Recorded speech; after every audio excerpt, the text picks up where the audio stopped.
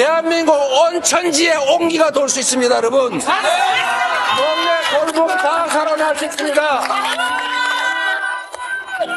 30만 원 월세 없어서 밥 먹는 거 힘들어서 아이들 껴안고 연탄불 펴놓고 죽지 않아도 됩니다, 여러분.